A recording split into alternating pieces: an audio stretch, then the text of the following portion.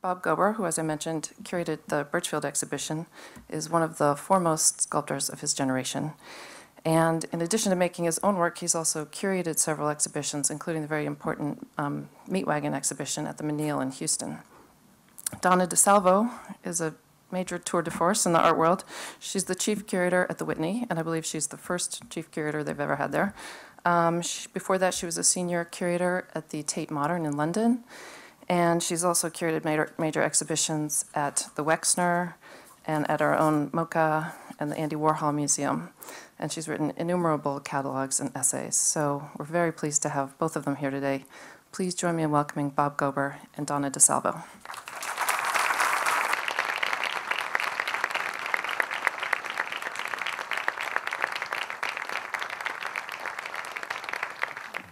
And Claudia, thank you for that lovely introduction. We're really uh, delighted to be here to uh, talk to you, to, for, for, Bob and I to talk to each other, and, uh, and to talk about curating Burchfield, a variety of different things. So I thought we'd just sort of uh, establish the parameters of what we're going to be talking about. And uh, it's a bit of a hybrid, I think, in a sense, because we're going to talk about curating um, from a variety of perspectives. Um, and inevitably, we'll speak also about Charles Burchfield and the different uh, impacts, uh, the impact of, uh, of the, in a sense, what a curator also brings to an interpretation of an artist. And I think it'll be a very lively discussion given that uh, I'm a curator, Bob is a curator, uh, and he's also an artist. So we have a, that's why I mean the hybrid. But I, I think we're going to get into an interesting history, I think, too, about uh, maybe this not being such a uh, unusual thing in a sense in terms of the history of curating and artists serving as uh, curators before this profession ever came into being. Um, so, Bob, I know we want to talk really beginning about some of your early uh, ventures as a curator, which mm-hmm. really begin with the, uh, we, I believe, 1989 exhibition at the ICA uh, in Boston, and then going up through to the exhibition Meat Wagon in 2005 at uh, Menil Collection, of course, and then coming to your most recent uh, exhibition project. Yeah. I thought we'd focus on Meat Wagon and then on, on Burchfield. And for those of you who don't know the, uh, about the Menil, it's a museum that's only been in existence, I think it's just 20 years now, although it feels like such an integral part of the um, American and international art landscape. And it was founded by two individuals, John and Dominique de Menil. They uh, were French. They were in exile uh, during the Nazi occupation, came to New York. Her um, father and his brother founded Schlumberger, which is a company that makes equipment to extract oil from the soil. Oil from the soil. Um, uh, from New York, they went to Caracas uh, because of oil, and because her husband was running the company, and then settled in Houston in the, in the 50s and they were in, first encouraged to collect art. They had no idea about collecting art. Neither neither came from a background or a family that did this. But they were in, when they were in exile in New York. There was also a French priest there at the same time, Father Couturier. And uh, Father Couturier's life's mission was he was a, a Roman Catholic priest, and his life's mission was trying to reconnect the Catholic Church with great living artists. And probably the largest, most famous project he was responsible for is Matisse's Chapel in Vence. But they were friends and they were in New York, and he, that's when he convinced them, he called it their moral duty to collect art, uh, both contemporary art and art of all kinds of different ages. And they assembled uh, an amazing collection of art that was then put into the repository of the Menil Collection, which is a gorgeous Renzo Piano building in uh, the Montrose section of Houston. And the collection ranges from, uh, uh I think the earliest object is circa 20,000 BC up to really up, up to the present. And it's everything from, from Western fine art, from a, a terrific Warhol, Barnett Newman, Johns collection, to uh, Etruscan art, Cycladic art, medieval art. Um, I don't think there's any folk art. There's a huge collection, they have a huge collection of uh, black memorabilia. There's ordinary objects. Um, But as I, as I, I was invited by the- the curator at the time there, Matthew Drutt, to curate from the collection, and it was his idea that I combine my work with works from the collection, and I didn't really like the idea, but I, I thought that if I said yes, I could finagle some way to do what I wanted and not what he wanted. But when I got into the collection, I saw what he was seeing, which were the connections between some themes in my work and some themes in the collection. Because even though the collection was so wide-ranging, there, there were these threads that ran through it. Um, their Catholicism, their interest in surrealism, uh, their interest in race, and their interest in the everyday object. And those were definitely themes that are uh, in my work. So I think we can start Yeah, I think we have some slides. Uh, the first slide, when I, I, the first thing I did at the Menil was I, I went down to the Menil, and um, I spent about six weeks there in one-week periods because they, they have about 5,000 objects, um, which is not a whole lot, but it's not a whole little either. And um, my idea was that I wanted to see each object uh, itself. And I was able to do that except for unmatted photographs, which were too fragile to handle. And so I looked at those in reproduction. Then I would come back to my studio in New York and I would, uh, I would make um, small scale maquettes of the things I was interested in and try making arrangements of them. And so this is a maquette in my studio that's maybe this big across. Next slide. You can see my age by calling them slides. Um, And then this would be the drawing that I would make from that, that then I would send to the Menil, that would have their, their uh, code numbers for where it is and what it is within the collection. And next slide. And then this is the uh, exhibition itself. And they tend to hew pretty closely to, the exhibitions tend to hew pretty closely to what I've worked out in the maquettes, and that was also true for Burchfield um, upstairs. I mean, cer- certain rooms, I didn't know exactly where things would go, but the, but they didn't migrate from room to room. But how did you come about the concept for this? I mean, there's so many objects at Menil. What then, and, and you weren't doing a survey, what was the framework then that you evolved? The, well, how, how, how, I think my interest got started there, and how I got a beat on what I might like to, to do was uh, the storage at the Menil is somewhat famous in that is available to be seen. You have to know somebody or make an appointment, but they've hung everything salon style, so it's exposed. So you can go there and not just see the exhibitions, but you can see everything that's in storage, supposedly. The first thing I found when they got there is that there's storage and then there's storage. And so I went into the storage, which is like ordinary storage. It's like stuff in the basement that's like been wrapped up and nobody's seen it for years and it's floor to ceiling. And I found stuff down there that the Menil had never shown, like, uh, let's go to five. She collected oxen yokes. Um, she collected ordinary objects, and I could start to see like why she collected oxen yokes. To me, they had a great, um, they were great supporters of the underdog, and that's how I saw the the yoke as like a beast, uh, an artifact from Beast of Burden. For instance, they also on this same shelf were slave shackles that they that they collected and bills of sales of slaves, which I did not show. Uh, let's back up to four. Does that start to address Yes, you're? yes. Yeah. So that's where I started. Was in was in the basement, and then this was a sculpture of mine that went on that wall, which is children's legs that form a, a, uh, that become burning logs in a fireplace, and then the there's like prison bars that are bent open in a, a classic expression of escape. Uh, to six, please. This was another object in the basement. This is when I started to know that I had a show, when I saw things like this, because I thought it would be kind of revelatory. And they had a, a deep interest in, they were mortified when they got to Houston and saw how segregated it was and saw how the races were treated so differently.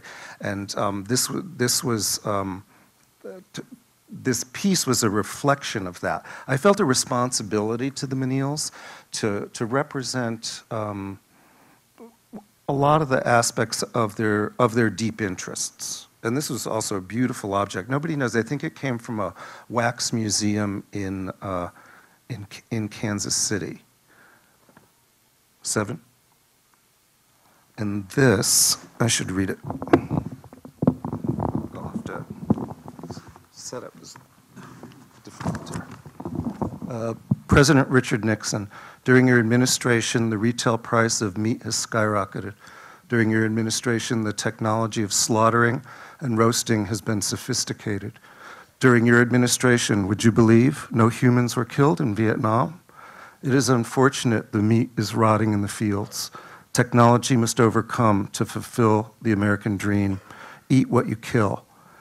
And this was from the uh, Guerrilla Art Action Group, uh, Jon Hendricks and Jean Toche. Uh, this was a work of art that I had never seen anywhere. Um, and that's what I kind of got interested in the Menil, showing things that hadn't been seen, whether they were ancient or they were contemporary. And by putting this next to, let's go to number eight.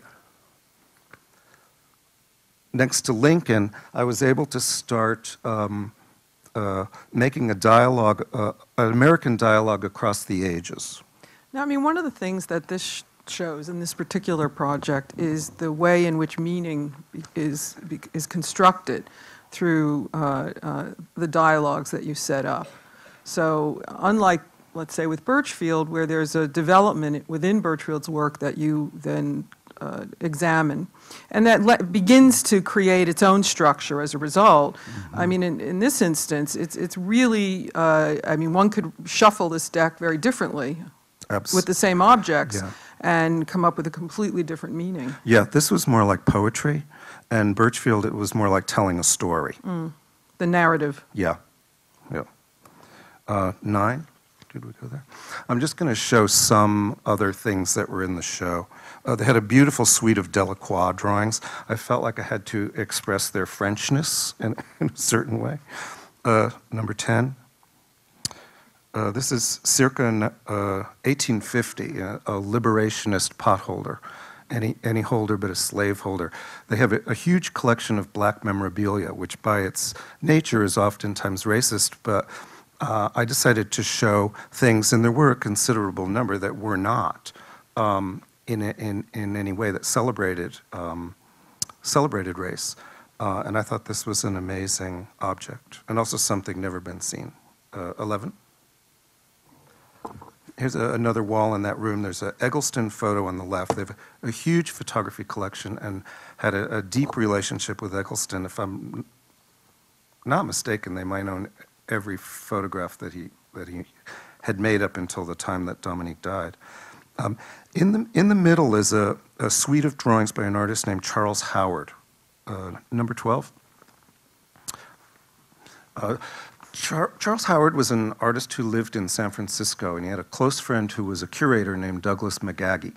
And uh, in 1944, uh, MacAgy uh, contracted tuberculosis before there was a, um, uh, an effective method for treating it. They would send you to a sanitarium. Sanatorium or terium? Sanatorium. Sanatorium. Sanitarium. Anyway, Sanitarium. He, he, and they didn't expect him to survive or to get out. So Charles Howard, for every day he was there, he sent him a drawing, and the drawings were on business-sized paper. And when you see them in person, they're folded in three, put in a business envelope, and they were called uh, "Drawings to an Absent Friend." And it was every day for almost two months.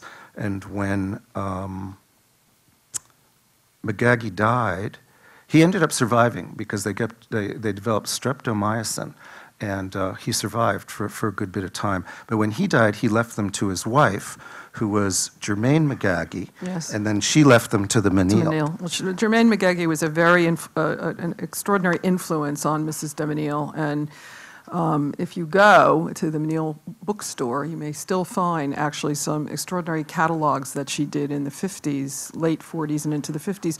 She was very close with many artists, worked closely with Rothko, and in a sense, learned a lot from artists. So it, it, she's really, you know, it's very interesting thinking about Menil because it's a very distinctive kind of organization in the way that it operates.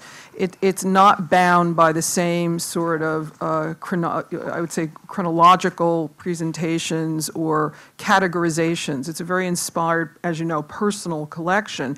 And for instance, the fact that they collected uh, uh, abstract expressionism and Northwest Coast Indian art, looking at the influences, displayed them together, which would not be the standard way in which museums would work. But Jermayne MacAgy uh, did extraordinary exhibitions that, when you look back now, seem incredibly inspired and blur that line, but this is where I think the whole practice of curating ha- ha- has changed dramatically over hmm. many, many years, became rather scientific almost. And then perhaps now, well, the past number of years, we've been in a, a much more liberated state in terms of what curators feel uh, able to do. And a lot of that has to do with artists and the permission that, you know, and I go back and think of Raid the Icebox that Warhol did at the Menil Collection, and he was invited by Mrs. de Menil, staged the works at the Rhode Island School of Design.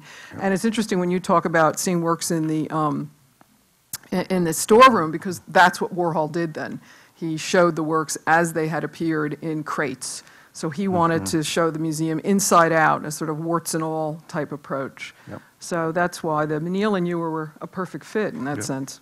Uh, 13, please. I'm going to show four of those um, Charles Howard drawings. I think I did a grid of just 12. And it was actually John de Menil who had the idea for Warhol to do Raid the Icebox. Oh, it came from him Yeah. and not Mrs. de Yeah, Ah. because um, John de died in, I think, 72, and she lived so much longer, Mm-hmm. Yes. and she was so charismatic. She just died like six or seven years ago, that I think people assume that the museum was her. And it was really uh, both, both of them together. Like one extraordinary um, story that I learned is that in the 60s, when Warhol was just starting to make his films, John de Menil, who is a devout Catholic, had the concept to make a chapel. It would have been in San Antonio. And all he wanted for the art on the walls of the chapel were Warhol's films. And Warhol came up with the. uh, It's amazing. It's amazing. I mean, because for me, it takes me a long time to sort out contemporary art and what's being made at the moment. But John de Menil had a clairvoyance about what was being made at the moment that was beyond beyond. Um, what Warhol envisioned were f- real-time films of a sunrise and a sunset. And the project, I don't know why, never happened. It only came out in prints Well, it, it, ex- it does exist as a film, ultimately. It Yeah. was finally made as a film, and the prints, which are actually rather extraordinary because there are 800 of them, but they're all unique silk screens. I mean, but that's, that, you know, that was the genius of Jean de Menil, and Yeah. uh, uh, understanding and really being receptive in that way. Yeah. Uh, 14? Which appears to be a man, woman, in a tub. And uh, they're, they're fantastic drawings. Oh, and they weren't known. They had never been shown. So this, was, this to me was the exciting stuff that I, that I was unearthing. So in- what was the in response within Menil, uh, the Menil collection, to your showing some things that hadn't been shown Okay. before? Here was the other pivotal thing that I had to do, aside from look at the work. I had to gain the trust of the longtime people at the Menil, because at that time there were four people who had worked with the Menils, one person over 40 years and the rest 30 so- 30-something years. And they had a, a deep attachment, 'cause even though the museum's only been open 20 years, they worked with her 20 years before that on the collection, cataloging it, when she was a curator at Rice University and before that at St. Thomas University. And once, I- they were very suspicious of me. What was I going to do? And uh, once I gained their trust, it was gravy. It was them that would lead me to things. And to give you an example of the type of relationship that these employees had, um, a man named Bear was the um, head preparator and had been for almost 40 years. And he built both of their coffins when they died. And hers was built in the shop, In the of, shop. of the museum. Yeah. Uh, 16. Oh, no, 15, sorry. Yeah, that's right. Um, this, I think, it, is it? It's like looking out from inside your own head as you're about to feed yourself. it's, it's something like that. I thought they were extra, extraordinary. Okay, 16. Uh, They're the big collectors of surrealism and especially Magritte. They had a pattern, they would buy one Magritte painting a year. And they had a dealer in New York who was looking out for them and would offer one great painting. I think this is called The Survivor. And it's a painting of a bloody gun. And underneath it on the floor is a sculpture of a gin bottle uh, that I made about almost 10 years ago now. Because I always think there's a relationship between uh, alcohol and violence. 17. Uh, This is a Michelangelo Pistoletto from 1965 called Vietnam, painted on polished stainless steel. And on the floor next to it is 18, um, a small beat-up uh, box that held one of the many models of the Rothko Chapel. And the Rothko Chapel is, is on the same campus as, as the museum. But I wanted to somehow, but it's such a famous thing that they created there and such a big part of what they did that I wanted to bring it into the installation in some way. And I did it by bringing in this crummy box that had been taped and cut open and taped and cut open. You said that now that that is, um, It's now considered a sort of semi-object part of the collection because it's, because, because it's been shown.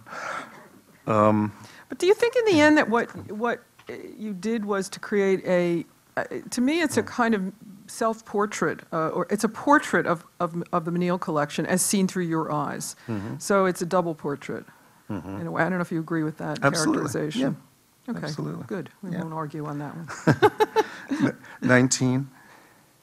Uh, I did a, a vitrine, two vitrines of uh, documentation and stuff about Father Couturier, because I just thought it was so amazing that a, a Roman Catholic priest would encourage you to collect art, and in a really good way. I mean, because, you know, uh, um, uh, tw- uh, oh, and I think in there, let's see, there's a, uh, I can see there's a, I just have a small uh, images here. There's a, a Life magazine feature on the Matisse Chapel and uh, 20. A big pile of um, Xeroxes of handwritten letters from Matisse to Father Couturier with image and words as he was developing his ideas. And at one point, these were in the possession of the Menils, and then they decided to give them to Yale, which has Father Couturier's, um, all of his uh, Archives. Thank you. Um, And 21, uh, one last image. It's from uh, circa mid-'60s. Uh, It was something John DeMenil collected, um, and it was another object from the Black Memorabilia collection. And we kept it wound and ticking through the show.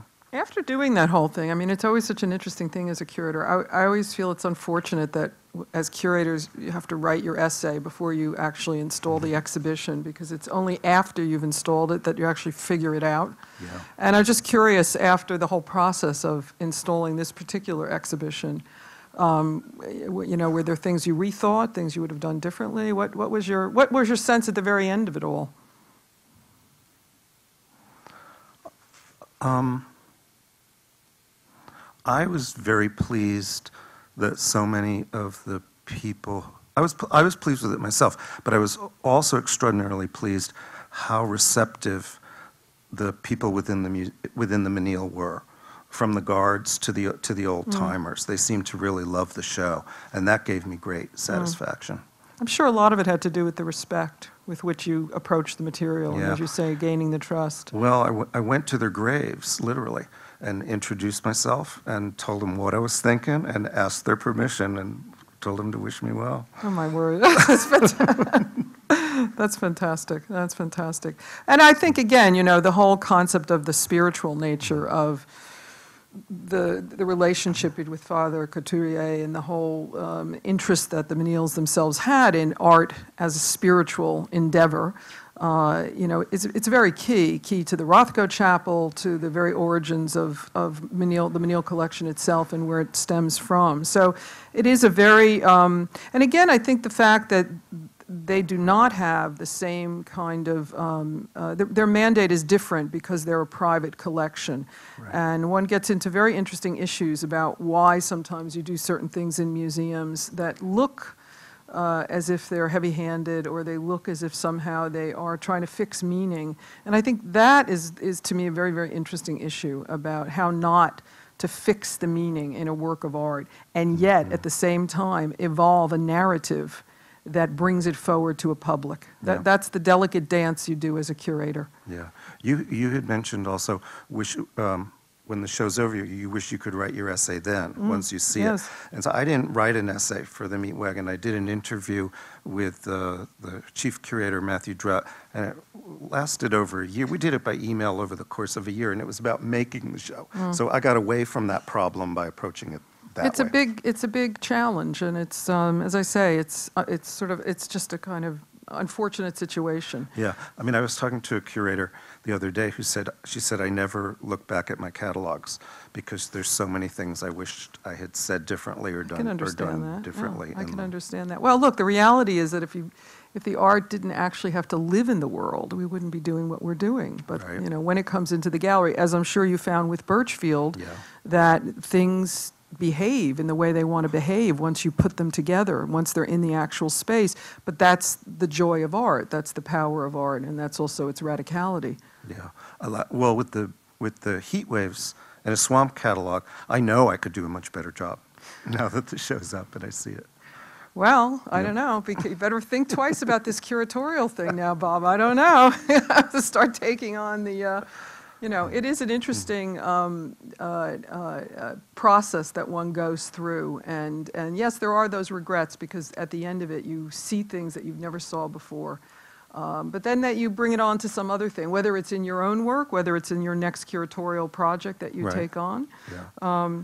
So maybe we should turn to talking about Yep. heat waves in a, s- 22. in a swamp. You know, I have to say, one of the questions I, I, I, I know the, there's a, such an interesting story of how this exhibition came about, and um, that you've talked about, certainly of having uh, dinner with Annie uh, Philbin at your house, and uh, her remarking on the Burchfield drawings you had in your own home. Um, and really, from that, this exhibition uh, uh, stemmed an invitation for you to organize an exhibition of Burchfield. Um, but I, I actually didn't, I've never asked you what led you to get those works by Burchfield, to buy them. the price was right. You know, I think I paid eight hundred dollars for one of them.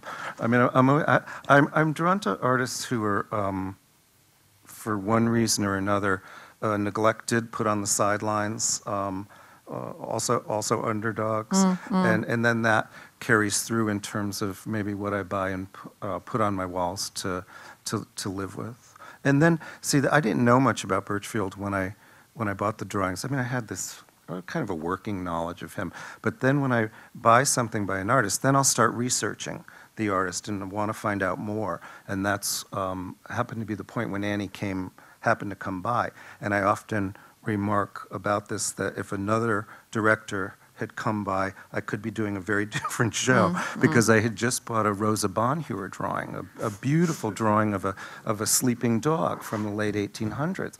And I started looking into her life, and it's fascinating. I mean, she, she, she lived with women, but she lived dressed as a man. She had to get a doctor's approval to do this, and how they did it is because she only drew animals, she had to go to slaughterhouses sometimes, and there's no female dress for slaughterhouses, so she was allowed to dress as a man. She was enormously successful. She lived in a castle surrounded by her private zoo, so she could draw them, and no one knows her work now. So, is that the next show? No, because I, no, because I looked into her work, and I don't think I'd want to spend that much time with it. But it is this, you know, it is an interesting issue about um, then what unfolds in terms of your, uh, your, the the responsibility you take on now, and, and particularly given the fact that Burchfield's work is in this very peculiar place, and we can talk more about that, I think, as we, as we, as we move through the slides. Um, I was very struck by, and I when we spoke about uh, this exhibition at, in its very early uh, stages of organization and uh, thinking about it uh, now traveling to the Whitney, I remember you talking about this catalog cover and the back of the cover. And um, I- you know the front of the cover, which is a cat, one of his his camouflage images, which is really quite atypical in a sense uh, to uh, include uh, to on the front of the catalog. Tell me a bit about how you even made that decision, and then we'll get to the back of the catalog. Right. Well, it seemed to me it seemed obvious in an intuitive way, and I, I mean that's my job is to trust my intuition. Um, uh, I thought it, I thought it bridged, I mean, I could, I can logically talk about it, that I think it bridged like a, a a pure, a pure pictorial interest and a, a functional interest because it was made as camouflage. Hmm. And I could also see how the shapes that, that haunt it and inhabit it are the same shapes that he used within his work. Hmm. And I thought it would be good to put something that was completely unknown and unexpected on the cover of Burchfield rather than a classic, what, what you might know as a classic uh, Burchfield painting, to get curiosity about like, well, what else and why? And it sort of posed a, qu- a verb, a visual question. Well, bravo to the Hammer for letting you put that on the cover. Um, because I think that, you know, oftentimes what happens is that uh, curators, institutional curators are, we have to work through marketing departments and people review the cover and they want to think, you know, I mean, I, I can't tell you how many times, not so, we don't do this so much at the Whitney, thankfully, but other places where, you know, the figurative image will sell, this one will not sell, abstract Yep. images don't sell, this, so, you know, it's an interesting issue about that level of freedom that you were given, which has resulted in, I think, a really fantastic cover for the catalog. I, I, I have had those discussions at other institutions, like red. Catches the eye. Yep. But, and it could be Cindy. It could have been Cindy because I was a guest curator and I wasn't um, here that much. And it was really Cindy doing the day to day. And um, No, bravo, Cindy, because that's, it was an inspired choice. But the back of the cover is the one that gave me the big, the, uh, the, the most pause, because in it you chose to have a, a, an article about Burchfield and his success as an ex, at an exhibition, but then um, the rather perverse inclusion of um, artist honored, home robbed. Yeah. Can you talk a bit about that decision? Sure, yeah. Um, uh, Burchfield died unexpectedly in 1967. He had a lot of ailments, but he died suddenly of a heart attack. And exactly one month before the fatal heart attack, he opened, or the State University of New York in Buffalo opened the Burchfield Center, which is still there and who we worked with to make this exhibition. And so 30 days before he died, there was a big opening of this uh, place. And at the top of this article, above the fold, is um, Burchfield in a tuxedo and his wife in a gown. And there's this huge full page article from the Buffalo Evening News about what a big deal this is and how happy we all are. And then in the middle of it was that article. And it came to me already outlined. I had bought on eBay an old catalog of Burchfields from the uh, Buffalo area.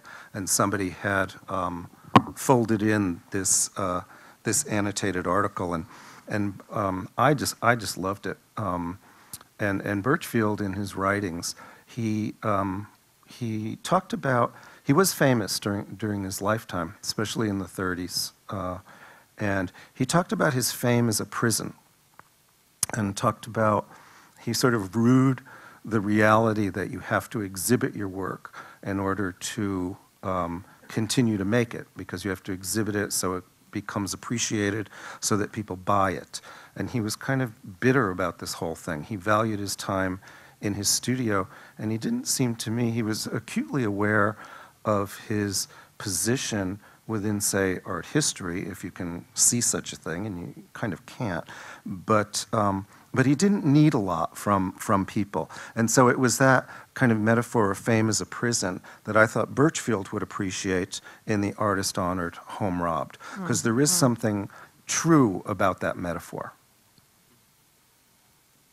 Okay, go to the next slide. Oh, yeah, 23. You better talk about this. Oh, yes, well, I asked for this slide to be included, so I guess I should speak about it. Well, I was very struck because this is a page from the catalog, and it has uh, uh, a a page from Burchfield's journals. Journals, right. With your uh, annotations through your Post-it notes. uh, And, uh, and obviously, the title itself came from uh, your looking at this. You know, it's a revealing of process, and it really is, it- to me, it's, it's a very, uh, uh, it's very uh, uh, revealing, in a sense, in terms of your decision to put that in the catalog. Now, I, as a curator, would not put that in the catalog. Now, maybe I'm wrong and I should put it in the catalog, but when you do things like that, it raises interesting questions about the decision to do that. Because this is where, um, you know, th- this exhibition, unlike the Meat Wagon, does not include any work of your own in it. Almost, but we'll get to Well, that. we'll get to that. We'll get to that. We'll get to that. But it- it's, it's I not. did worry about it, that it was too self-referential Hmm. and maybe a, a bit of a vanity page in, in, in the book. Well, I think that you can't, you can't escape being Bob Gober. And that's a rea, and that you, you know, you bring your own history to it, and as does anyone, but then there's an, you know inevitably, I'm assuming you, you, you came to terms with the fact that inevitably people are going to look at the connections between your work and um, Burchfield's work. And you, you know, I've already asked you a few um, points we've come to. So I think it's fantastic that you have that in there. I, I mean, I like it very much. Um, but I, but, and I like that it's different. I don't Yeah. think that things should be all the same. But it, but, But I wonder if a professional curator had done it, if you'd have the same reaction, or if I, or if I would. well, it's interesting. I mean, I have a colleague who uh, is a fantastic conservator, Carol Mancusi-Ungaro, and she often has uh, likes to do things where she uh, will reproduce her own notes with with uh, uh, uh, annotated, and she's done it in some in a catalog, but got tremendous pushback about doing it. Now, because she is a conservator and really is an unusual person because she has such a great engagement with process. Um, it sort of slips in there. I don't know. It's an interesting issue. I'll have to think about that for the next project I do, uh, whether or not it makes sense to do. It does reveal something, though, about the fact that there is someone who makes decisions behind an exhibition. And I mm-hmm. think that's the critical thing, is that we're not talking about the, uh, the you know, narrator as God, the, the unnamed individual. The reality is every exhibition that is organized is a subjective view, and the next curator will do it differently. So revealing that, it's like debate within some museums, does the name of the curator go on the wall? Some museums, yes, some museums, no. You know, do you reveal that? So I think it does reveal the fact that, you know, there is an individual who has made decisions here that impact how we will now see Charles Burchfield. Yeah, I didn't think about it before, but I'm wondering now, because I've, um, if, if I didn't have a, a doubt about being taken seriously in the sense of someone who would really do the research and his homework, and it wasn't somewhat a small nod to that. Interesting, okay. 24. Now, you made a decision also, um, this is the beginning of the exhibition, really, which is the, the um, uh, conventions for a- abstract Thoughts? thoughts, um, which were the works that he made around 1917, I believe. Um, and you made a decision to uh, do the installation chronologically. Was that a clear point from the very beginning for you? Yes, it, yeah, it was. Because I had to make sense of this guy's life and his work, and I had to thus make sense of it for other people. And it seemed like the, in terms of, I, I had a responsibility to tell a story about him. And so that, in that way, it made perfect sense to me to go chronologically. Well, why don't you walk us through these a bit? Because I think they're very, um, in a way, they set the stage for his entire artistic career. Yeah, these were drawings that were very important to him. Uh, the in the vitrine, you can maybe see he um, he assembled he assembled he was an incredible archivist of his own work, and he had put all these drawings into handmade notebooks that he made. And luckily, his dealers were never able to sell any of them, and so for the first time, we're able to bring them all back together in the show. And in um, 1917, he was still living in Salem, Ohio. He was born in 1893 in Ashtabula, Ohio. Um, a little biography here, maybe. Mm, Sure? Um, uh, one of six kids. Hi- His father died when he was just a small kid, and so the mother took the kids back to her hometown, which was Salem, Ohio, thinking that she was going to split them up with relatives in order to survive. But he had two bachelor uncles. Um, I'm a bachelor uncle. Shout out to bachelor uncles.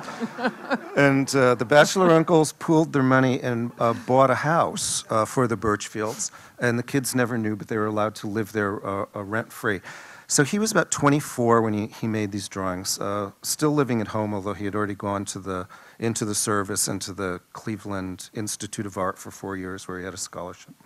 And he was uh, recovering from a failed uh, relation, romantic relationship.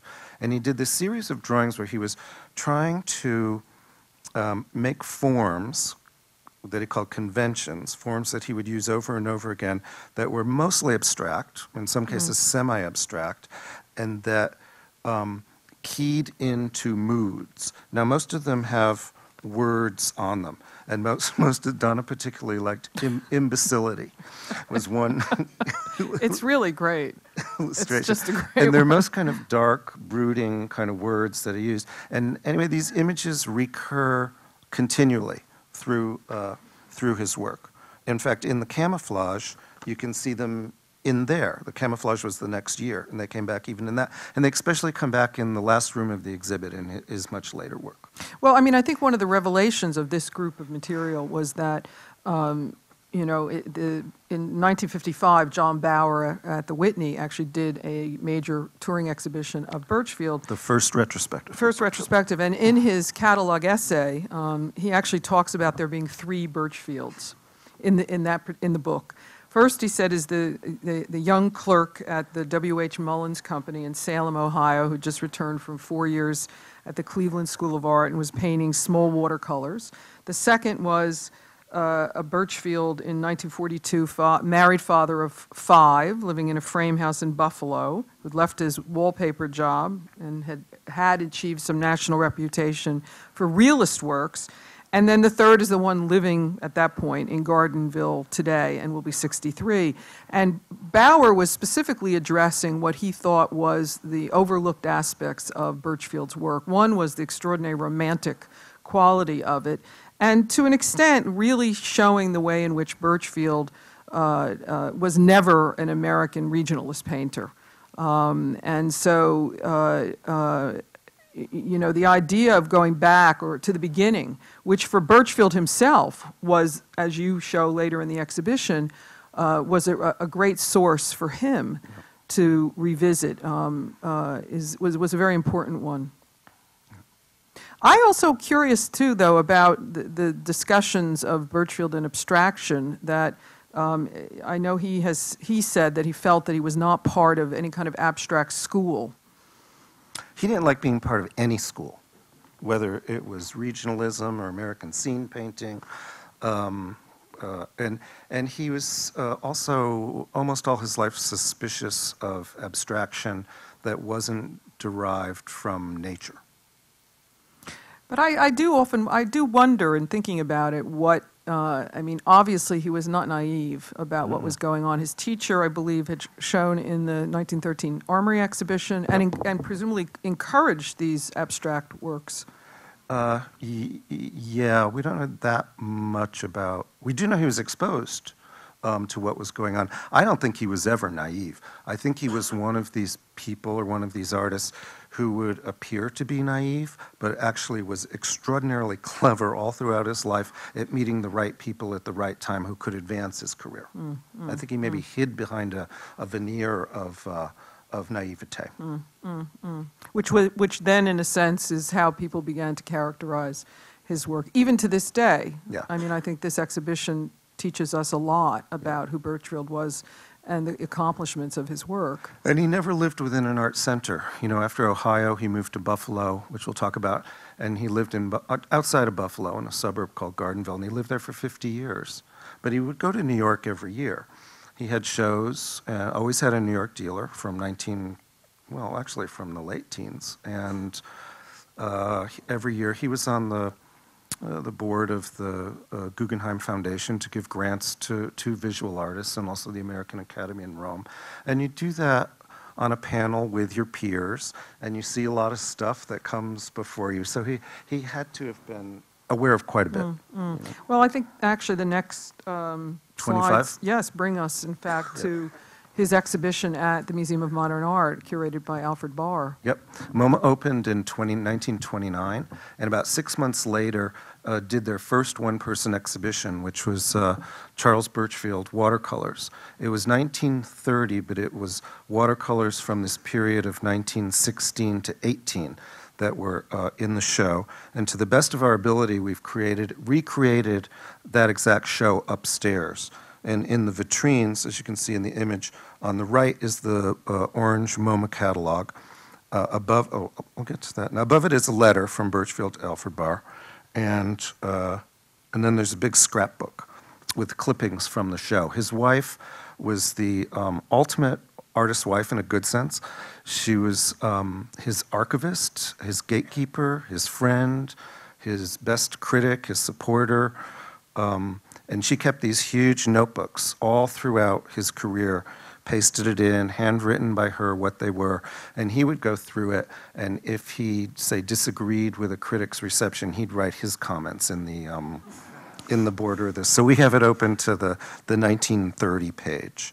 Um, and interestingly, uh, MoMA does not acknowledge this as their first one-person exhibition, even though technically it was. They say that it was Henri Matisse in 1932.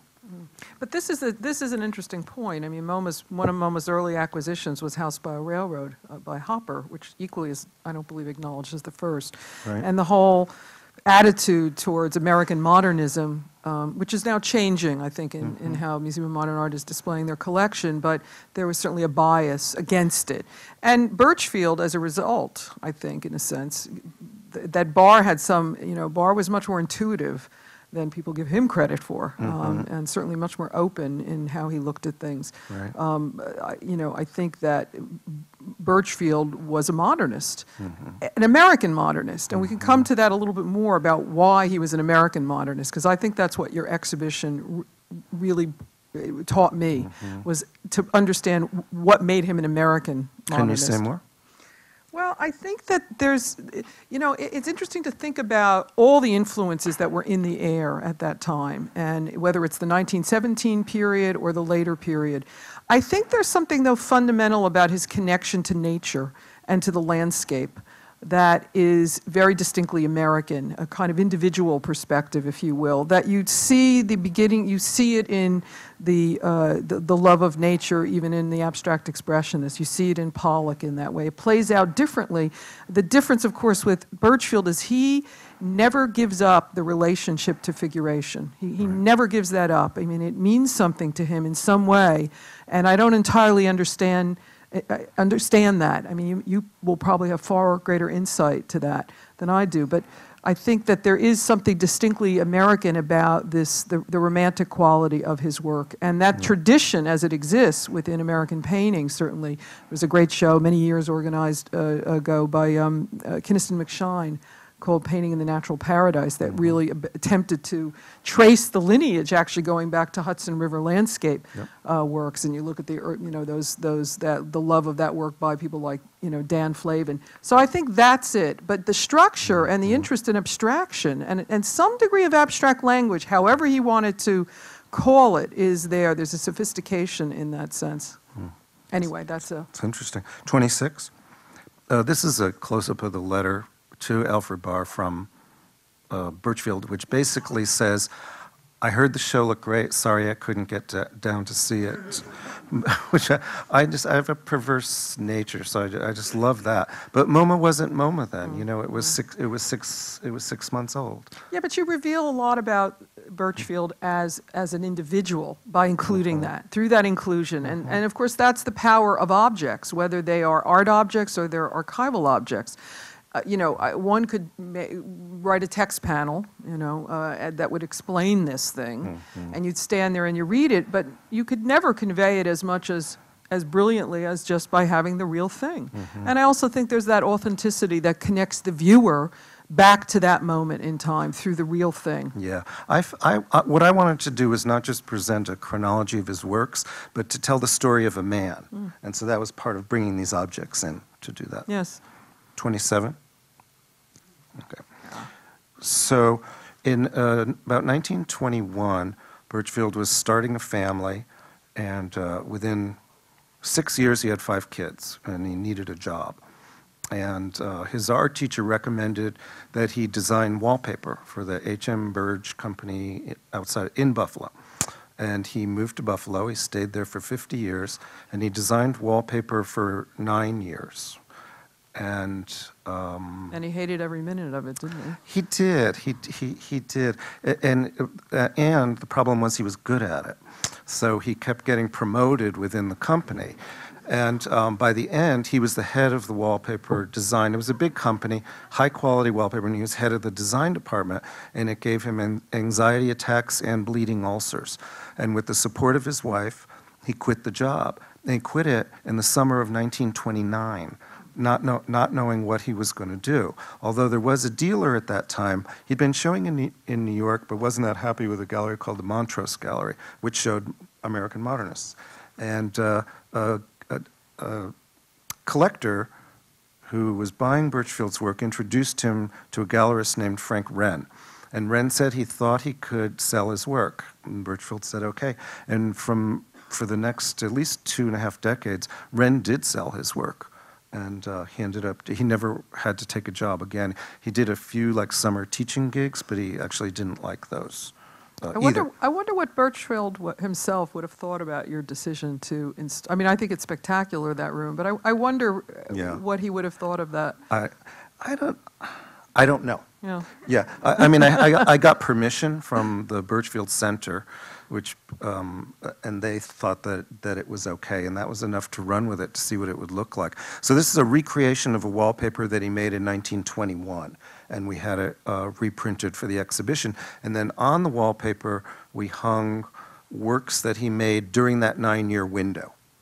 And it was his least, he was incredibly prolific, and this was his least prolific period because he was raising a family and had a full-time job.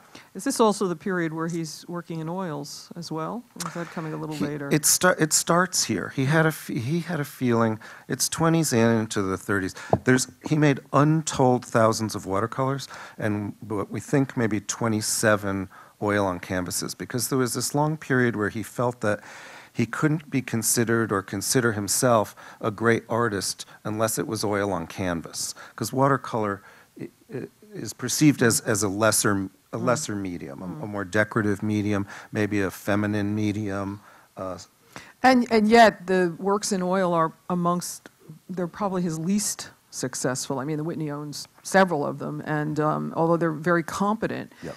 That was really not where his, um, uh, his, he- could express himself. And I, I think what that room shows, though, is, is the distraction and what having to work making wallpaper did for him. So it's, it's, ve- it, it's- it's very interesting in terms of how uh, a story gets told just by placing it on that wallpaper about that particular moment in his, in his, in his life and in his career and his attitude. Yeah, I mean, sometimes he, when he was, when he was fed up with the work, and sometimes he would call it hack work, but it, it never veered, the wallpapers never veered very far from essential elements in his work, and that they were always nature-based Mm, Well, they're very beautiful in their imagery. They're, I mean, they're incredibly complex. Yeah. And I'd be curious how you think, um, and maybe you can talk about it later, how you, his making the wallpaper impacted on his work. Well, it, he, he liked to, he was always expanding and cutting back his work. And he would do it by adding paper to the, to the sides and cutting paper away. And he became extremely adept at this technically. So he wasn't installing wallpaper, he was designing it, but that seaming, seaming together of patterns seamlessly is one thing that, And we get to that a bit later, I think, yep. yes. um, where are we? We're number Next, 28. 28. So there are a couple of vitrines in this room. On the left, you have the rollers originally that made the wallpaper. Then these are his wife's scrapbooks of all the work that he did at the wallpaper factory. And then there are a couple of images of him and his wife in his studio. Uh, 29. Uh, this was a, a vitrine that was in the reading room. And on the left are Christmas cards that he designed, which Donna says are in the gift shop, which I didn't know that um, that, that happened. They are indeed. I just bought a packet. So any of my friends who get my cards will know that that's what they're going to get. A- And it's an interesting story. It's a company that's still in business that started during the Great Depression to uh, help artists make money. And, and they commissioned artists as diverse as Diego Rivera, Stuart Davis, Burchfield, and a, a- a long list of, of artists made Christmas cards.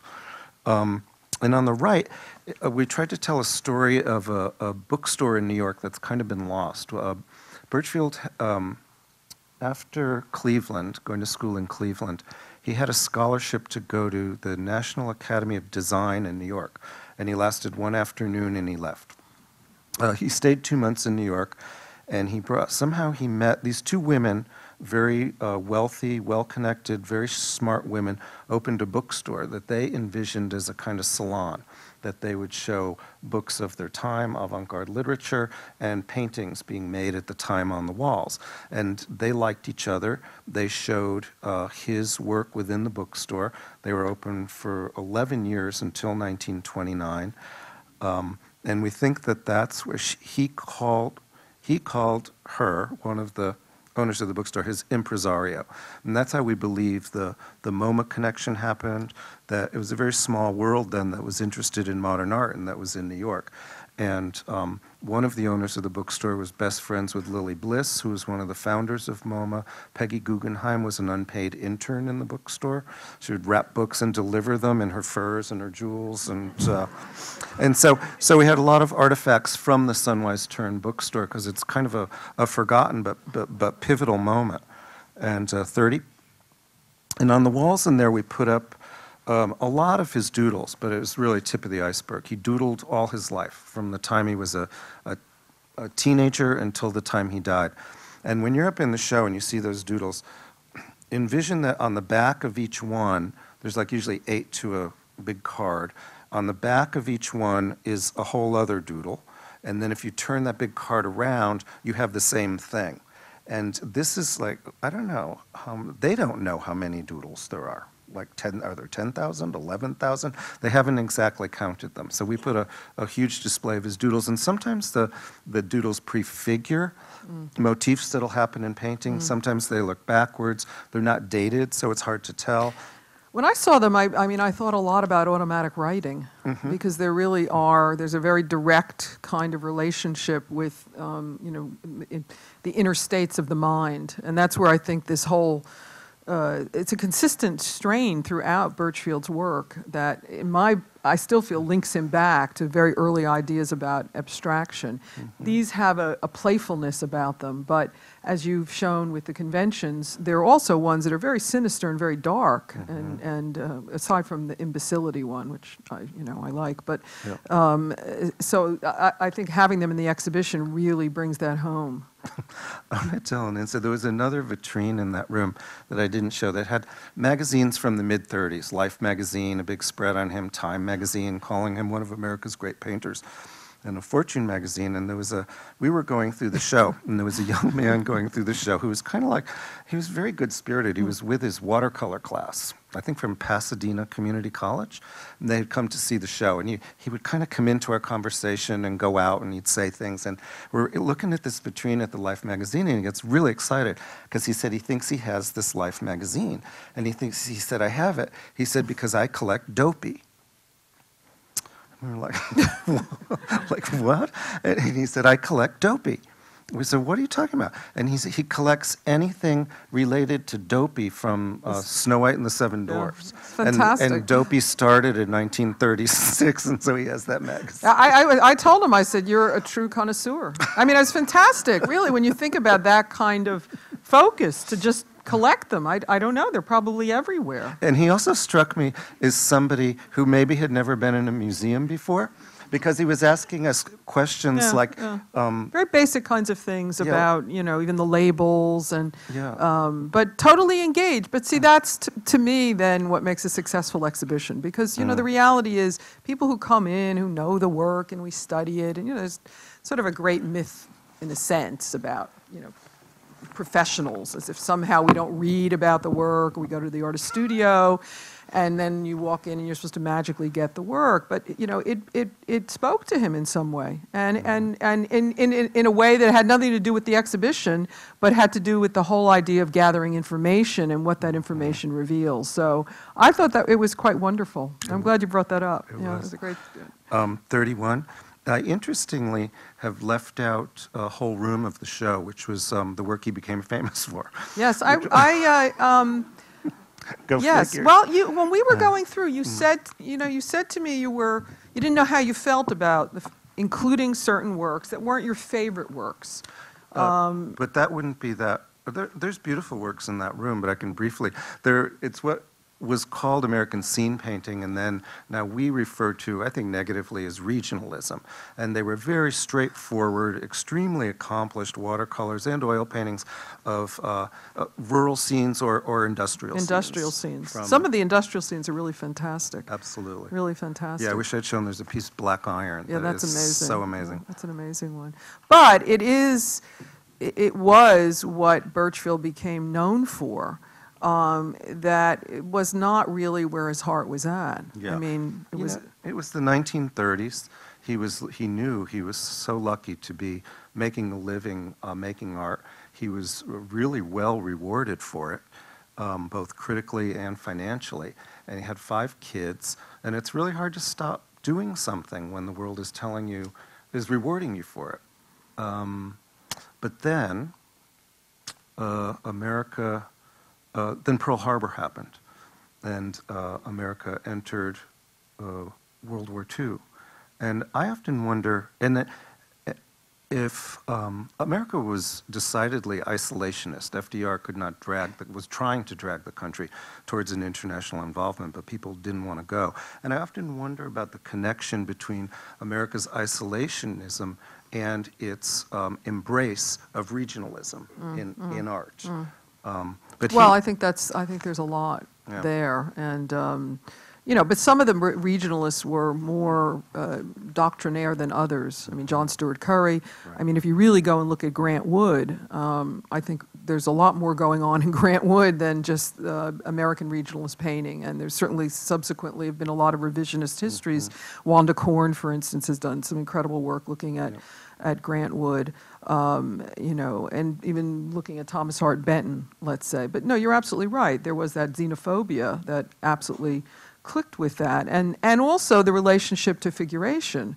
Yeah, yeah. I also think it was a, a reaction against European modernism. Absolutely. Against the, the absurd, the hard to grasp absurdities of Dada and surrealism, maybe even late Cubism. Well, there's an incredible document. I think it's more, a little bit later, though, maybe 48, 49, by uh, a Congressman Dondero, who was then linked with McCarthy during the, the uh, Senate hearings and the House Committee on Un-American Activities, in which they tried to pass legislation. I came across this once in, in doing some research in a, in a, in a museum archive, uh, passing legislation of, of having artists sign, you know, a loyalty oath.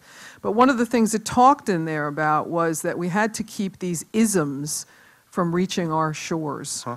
So I think you could say surrealism, I mean, the isms became the outside of the US uh, uh, things, or even abstract expressionism, in a sense. Okay, so in 1943, he's turning 50. Uh, the country is in the middle of its involvement of World War II. The sales of his work with the advent of the war have pretty much ground to a halt. Um, uh, and he began to have an artistic crisis. He um, felt that the, the regionalist work that he was doing, even though it was uh, popular, he, he called it libel when um, he was called a, a, an American scene painter. He felt he was capable of so much more, but he was really stuck and, uh, and stalemate. And how he got out of that was, let's, we're going to come back to this. Let's go to 32. He went back to his watercolors from 1917. And what he would do is literally take that watercolor, they were small scale, and paste them onto a much larger board. So the, the work on, the, on that side is um, the 1917 watercolor. We made a reproduction of it, and we, we put it on that board. When, when Burchfield died, th- that um, conglomeration of four pieces was one piece, and it was in his studio unfinished. He had pasted the 1917 watercolor on it, and then he had extended the drawing on it, and he was going to make a much bigger composition, but it was uh, he, he never got to it, and it was left this way at his death. And um, we believe what happened is that his dealer at the time looked at this and thought, well, what do I do with this? And so they sawed out the 1917 watercolor and sold it, but they saved the cut-off scraps.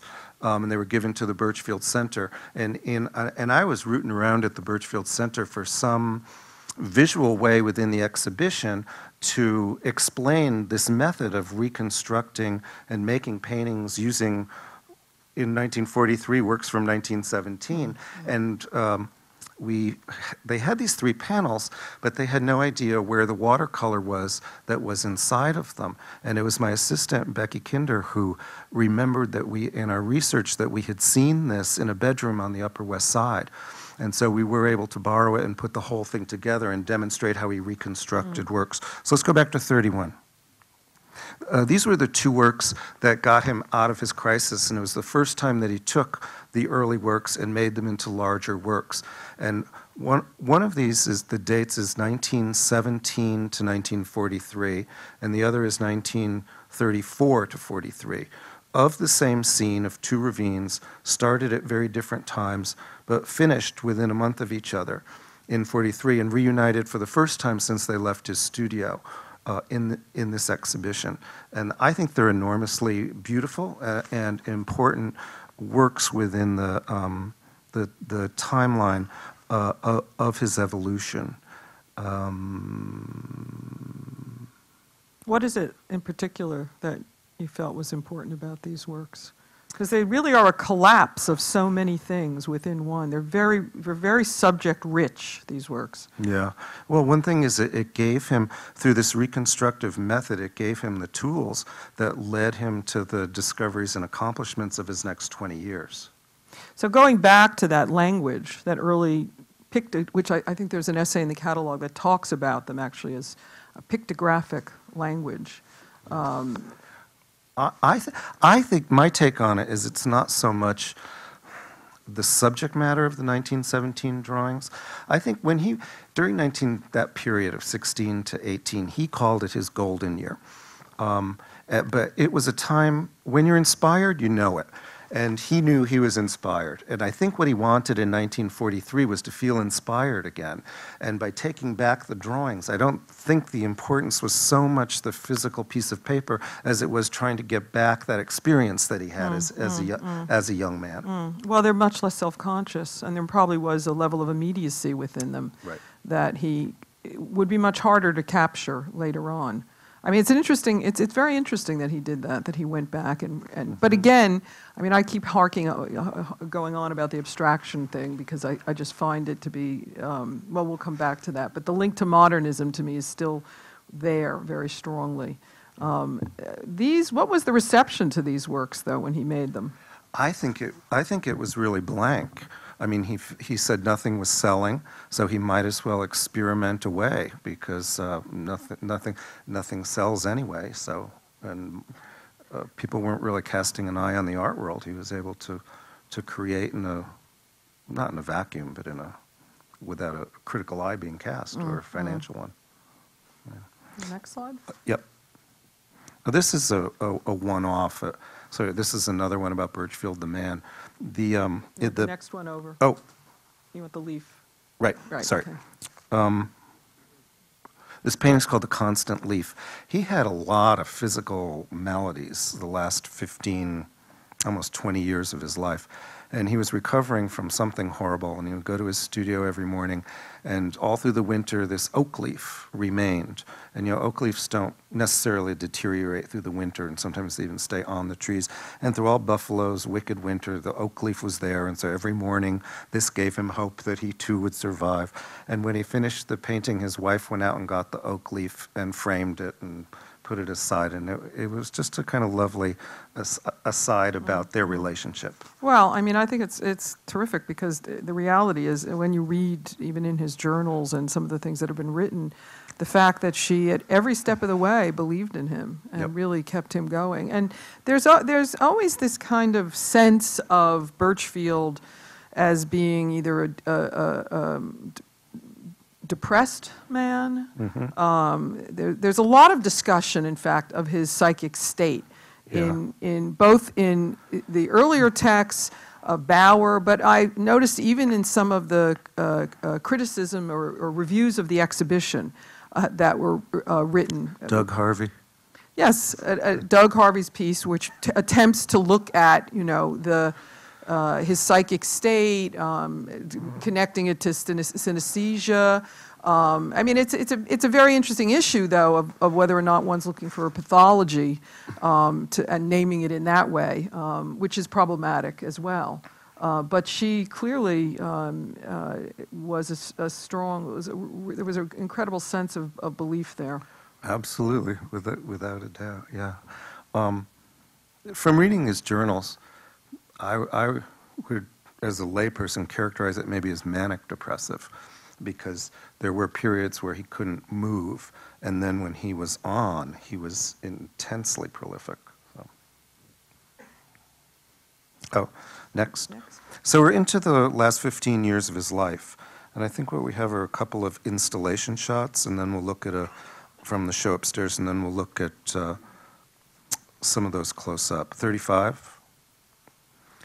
Uh, the, the painting in the middle there is called Four Seasons, and he got um, interested. It started in those 1943 paintings when he was combining things. He also got interested in combining seasons in different seasons in one painting and different times of day into into one painting, which I think is a really rich, complex uh, thing to try to do. Uh, 36. In the center of the room are Charles Burchfield's journals, which he kept his whole life. He left over 10,000 handwritten pages of journals. Um, the, there's a, I've only read 700 pages because there's a, a edited book of 700 pages of the journals. So when I say I've read the journals, I, I've only read that. Um, I thought it was important to put them in the show. It was something I knew I wanted to do also from from the very beginning because it has a kind of gravitas and weight about recording your time, recording your life, and it almost sends you back to the beginning of the show because there's like two two there from when he was uh, 15 years old, and then two are open that were more contemporary to his time. And then, should we talk about the recreations? Yes, absolutely. Yeah, the big stacks in the middle, we weren't allowed to borrow from the Burchfield Center because they haven't been transcribed. And they felt that if anything happened to them, something too precious would be lost forever. And so um, uh, two of my assistants went to Buffalo, photographed and measured each of the um, journals and kept notes of how they, took photographs of how they were built. Uh, We bought the same covers that they used at the Burchfield Center, replicated their labels, then we manhandled them, we put them up on the roof in the sun to bleach them out and make them feel, feel used, and uh, I think it- it says it in the vitrine that they're, what's the What word? do you say, facsimiles? Facsimiles, yeah. Yes. So when you say there's no work of mine in the show, there is actually this Yes, of. Uh, 37. Fantastic. This painting is called Gateway to September, and, and I think it's literally that. You have a florid summer scene in front, and then this, through this bizarre keyhole shape, you have a kind of a dry September. um, The, the, the late paintings have a, like a visionary, slightly hallucinatory, um, Transcendent. yes, tra- Mm-hmm. yes. uh, But I think it's interesting looking at that, period. This is, nine- well, this one is 46 to 56, but that idea of the transcendent, you know, which obviously plays out very strongly in abstract expressionism, but here is dealt with in a very different kind of way. Yeah, and predates by 10 years, uh, uh, like an interest in psychedelia. Yes, yes. But the altered states of mind, whatever that means, and I think Mm-hmm. one of the things uh, also this uh, you've talked about is this direct observation of nature, and even the way in which Burchfield and there's a I don't know if you have a slide of the one where with the dandelions where he's don't, no. absolutely you'll see it up in you'll see it in the exhibition where the dandelions are massive, and you really have the sense of him crawling around actually on the ground Mm-hmm. uh, in that way. I was thinking a lot about that whole tradition of plein air painting in a sense. Uh, I mean, not that he's, I mean, sometimes he worked out of doors. Oh, yeah, he loved to work out of doors Yeah. until his health kept him back from it. But then he would work out in his garden, like that painting was done in his garden.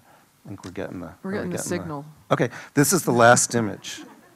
Um, And this is a painting that's not in the exhibition. We couldn't get it. It was really hard to get loans for this show, but it will be in the exhibition at the Whitney. They would lend it to, to one venue, but not to the, not to the Hammer. And it's called um, Autumnal Fantasy. And I can't wait to see it, frankly. And, uh, and interestingly enough, it was the one that um, I found a, a very funny quote um, uh, about autumnal fantasy is in the Baur book, where, uh, and this was after that time when uh, Burchfield had, had stopped making the regional, quote-unquote, regionalist works, and a collector looked at this and said, people will ask if you've cut off your ear after that painting. so, you know, even then, there was this resistance to accepting Burchfield's uh, very uh, rigorous pursuit of, of, of a language, of mark making, uh, marks that actually uh, uh, um, translated into emotional feelings, a use of color in that way.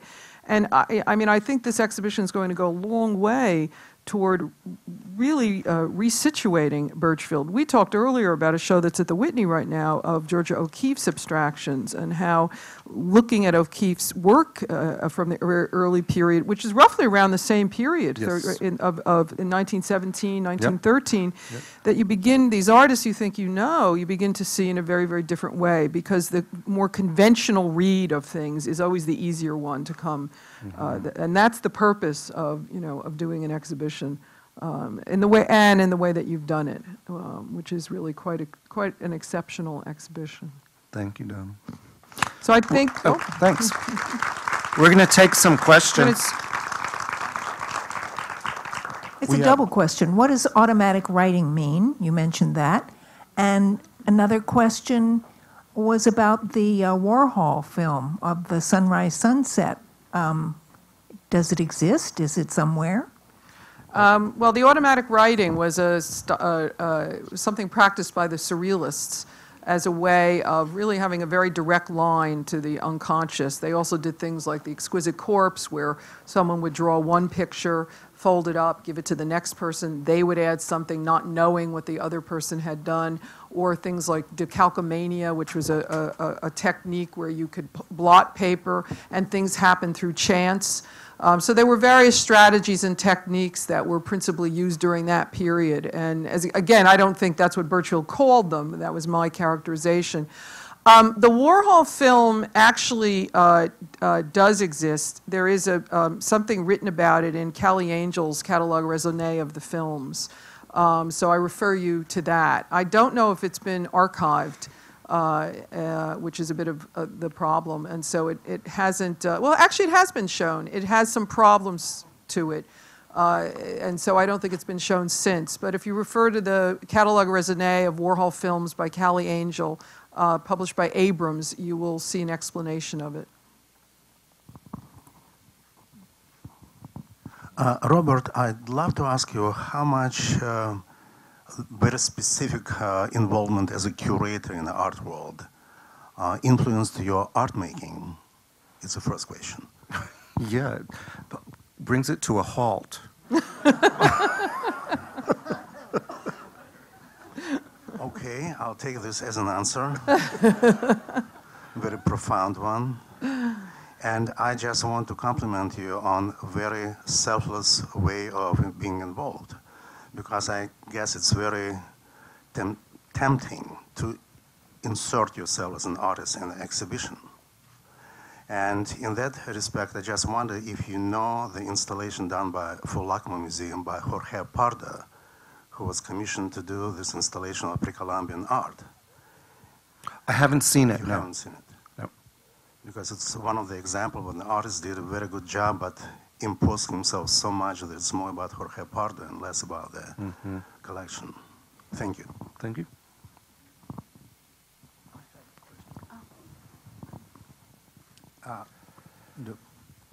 Oh, no, Uh, you'll be I- next. Is that okay?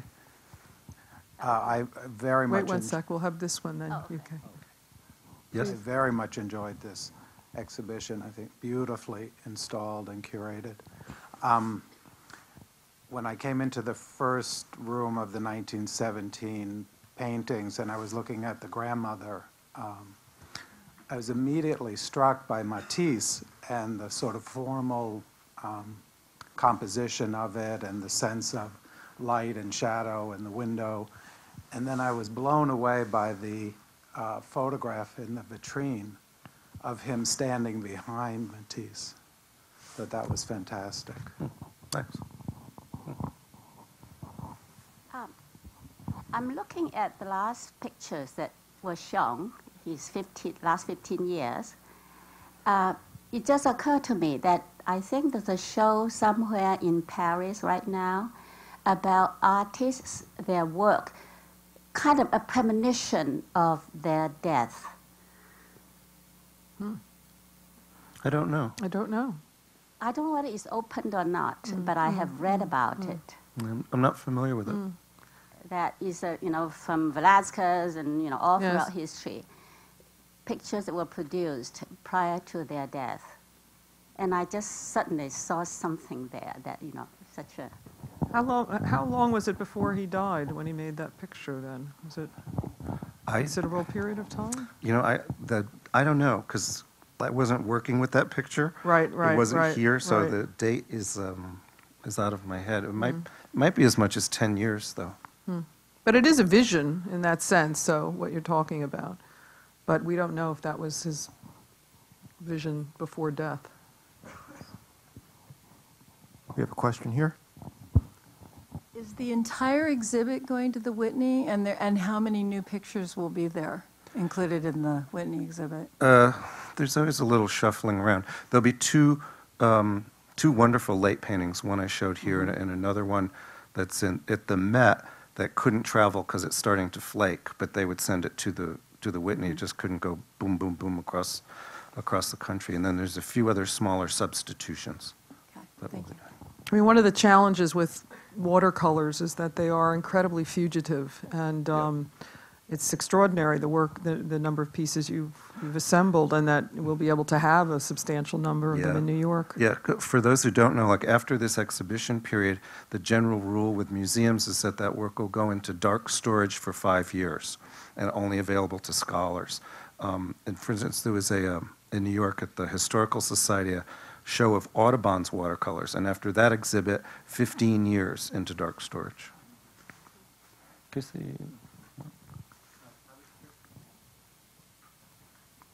We have one there, and then we'll go over here. Yes? Oh, I was, Oh, this, okay. this might respond to that. I was curious, the um, reproduction of the wallpaper is so highly saturated compared to the uh, watercolor. Was, is that intentional, or is that, uh, you know, trying to get a read back to the original colors? Well, the, originally the wallpaper was done with rollers, but we, we recreated it through silkscreen process. And um, silkscreen just is very, We're saturated. yes, Yeah, very, very flat and saturated colors. But we did try to stay really close to his gouache study, which is hung on it upstairs, because actually the 1922 wallpaper um, wa- wasn't that close uh, to his original gouache. It was qu- uh, quite a bit of uh, difference in coloration and texture. I mean, it- the, the Burchfield Penney Center, up until, I think, the late 70s or so, used to sell Yeah. Burchfield wallpaper, um, but they no longer produce it. Um, So people who bought it then, actually, uh, I don't know if they had many different patterns or just one. But Bob and I met, uh, not met, but we have Yeah. a thing over wallpaper because of an exhibition that I did many years ago of, called Apocalyptic Wallpaper, of artists working with wallpaper. And he first refused to be in the exhibition. She's um, very persuasive. But we spent an afternoon at the Cooper Hewitt actually looking at historic wallpaper, uh, which was a real delight. Um, and the history of wallpaper is a is really fascinating. Um, from you know Proust's talking about the Yellow Room. I mean, there's really it's an incredible history within it. So it's it's not banal and pedestrian at all. Even even if Burchfield didn't like it in the end. I was curious about um, how, how much he was aware of what was going on in Europe and who he was influenced by. Um, I think of Kupka, for example. Um, how, was, how much relationship did he have with those artists? Fairly limited. I mean, I was surprised. I just put together a list for someone recently of shows he was in in Europe, and it, it was surprising. I thought it was one or two, but it was a surprising number. But most of them would have been group shows, say like 17 Americans, you know, from a from a certain period. But he never traveled to Europe, and like I said, it was once a once a year to New York. It's it's hard to know from reading the 700 pages of the journal. I couldn't answer that question.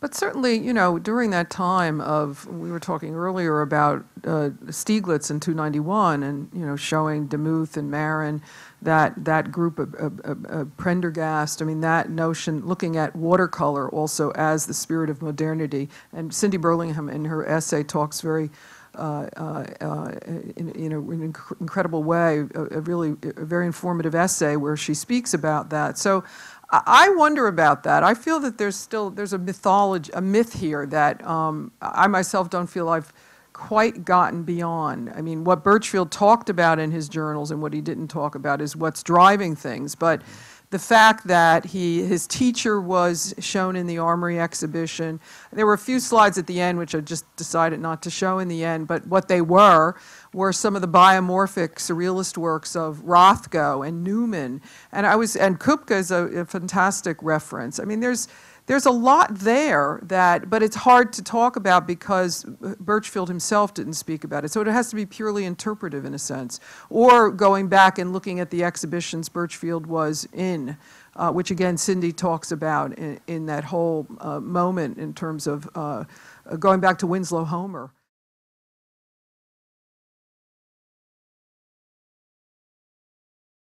Were you aware, Bob, of any religious background or his relationship to the transcendent, where that came from, or uh, transcendentalism?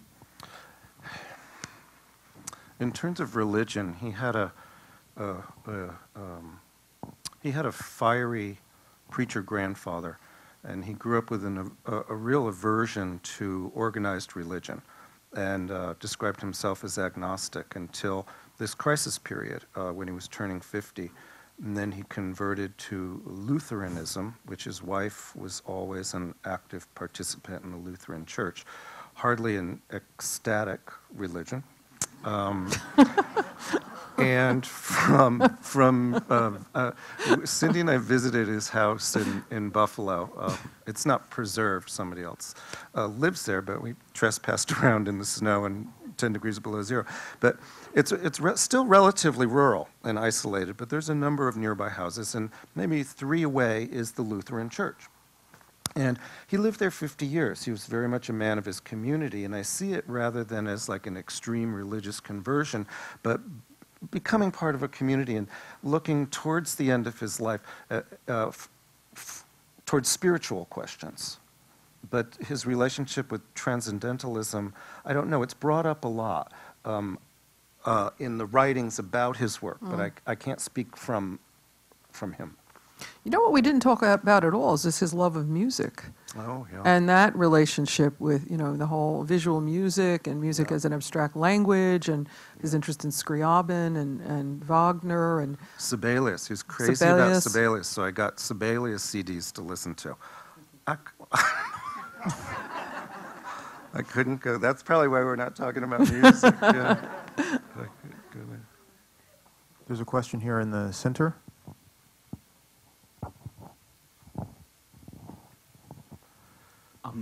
Just a quick question. You mentioned um, his facility with watercolors as opposed to oils, and it brought to mind the, the habit that some artists have of doing studies in watercolors because they're easier than oils. So I'm wondering how much of the artist's schooling had to do with, with that leaning towards watercolors more than oils. As you know, they're easier to pull off. Maybe maybe he did a hundred of them in one day. Maybe that's what he's stuck with. Is there anything in his schooling background that that would have led him down that path? I honestly don't know. He did talk about that. uh, He liked that with watercolor. I read something where he, he said he loved that you could just erase it. And, st- and, and, and there are some works in the exhibition. I think maybe the, um, is it the one with the Milky Way? Uh, I know there are some where there's actually, the paper is almost abraded, it's rubbed off. Right. And- But I don't know vis-a-vis schooling. I don't know about that aspect of it. Could you talk about his e- education a little bit? Well, uh, went to the Cleveland Institute of Art. Um, had some teachers like uh, Mr. Keller, who were uh, pretty advanced in what the, both what they did and what they knew. He was uh, uh, Burchfield was a, a big fan of uh, Japanese woodcuts, Chinese scroll painting, but also um, il- illustrators. Um, whose name is slipping my mind right now, um, because he thought that he would be uh, training as an illustrator um, um, to make schooling useful for having a job. And it was only maybe towards the very end or when he got out that he decided he was going to go towards more being an artist than an illustrator. And during that time, he was also torn between being a, uh, a nature writer or uh, a nature illustrator. We have time for one last question.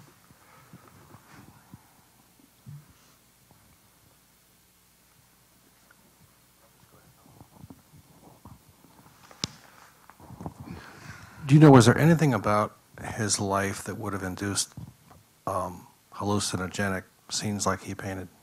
You mean like, did he take drugs? Migraines.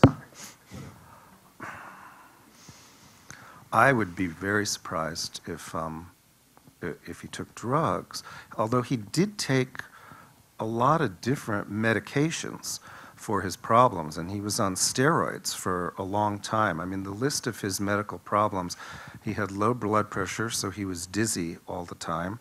He had attacks of asthma.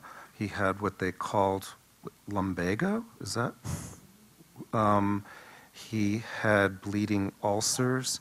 He had terrible prostate, uh, prostate problems and repeated operations on the prostate. He had a heart attack 10 years before he died of a heart attack. And it kind of goes, and oh, diabetes. And so, I don't know. Uh, that was the last question. Thank you, everyone.